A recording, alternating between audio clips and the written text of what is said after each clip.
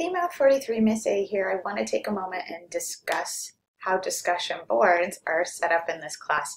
We will be doing discussions in groups in this course, and you'll have a few different groups as we move along the semester. And I know groups can be tricky. They can be tricky in face-to-face -face classes. They're tricky online. Not everybody participates, and it can be a little frustrating. And I think that's actually pretty indicative of life, so this is good practice. And I'm hoping that by the end of this, you have a few folks that you know in the course that you can reach out to if you need help or want to create a study group. All right, and if you want to find which groups you belong to, there's a group icon on your global navigation menu. And the global navigation menu is that menu all the way on the left that has things like dashboard, inbox, and there'll be something that says groups. If you click on that, you'll see all of the groups in which you belong. And that's not just for this course, that's for any course where one of your instructors might be using groups. And if you click on any one of those links, that'll take you into your group space. Once you're in your group space, there'll be a little people tab. You can click on that and see who, you, who your group mates are. Um, you can create your own discussion boards and your own pages. You have all sorts of options once you get into your group space. All right, when we post to our discussion boards, you need to make sure you have an image file type extension, meaning I need JPEGs, TIFFs, PNGs. We can't have PDFs. Those are for assignment submissions, but we need image file types for discussion boards.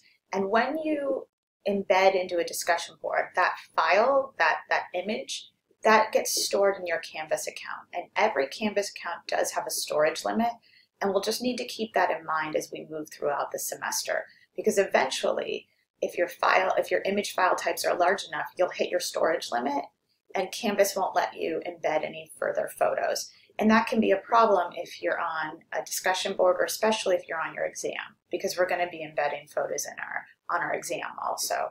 And so there's a way around it. We'll have to delete some files and I'll show you how to do that in a later video. I just want you to be aware that that's that's something that's happening. All right, with these discussion boards, the grading, or the due dates, I should say, are Wednesday and Saturday. So main post due by Wednesday, two thoughtful replies due by Saturday.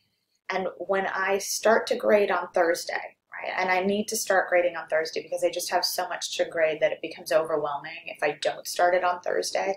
If I started on Thursday and you've only done your main post, no problem. All right, I will continue to update grades throughout the week. And if you get your two thoughtful responses to your classmates by Saturday, you'll see your grade improve. So you'll be all set there. And when I say thoughtful responses, it needs to be something more than this looks nice or nice handwriting. You need to comment on something you agree with, you don't agree, help them with a typo, something along those lines. All right, in terms of the types of discussion boards we have, we have two types. One type is going to help you prep for your next deep dive, and one will deal with real world data and we'll look at some stats and then there'll be an actual solution file you need to submit. And so when there's the discussions that have the solution file, all right, that need to be submitted, those will be due the following week.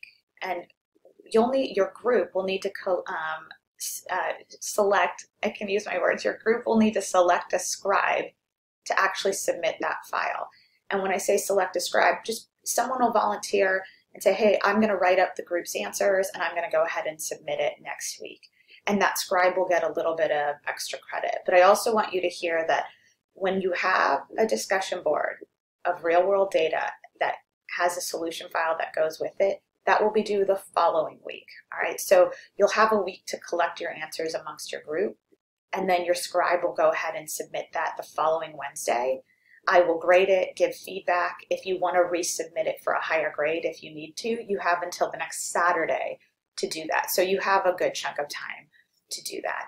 All right, and before I get out of here, I just want to remind you, use the um, use the browser. Don't the Canvas app is really wonky, I think especially with discussions, so make sure you're using a browser, typically Chrome or Firefox, right? And if you ever run into a glitch, go ahead and clear out your cache and your history, and that takes care of most glitches.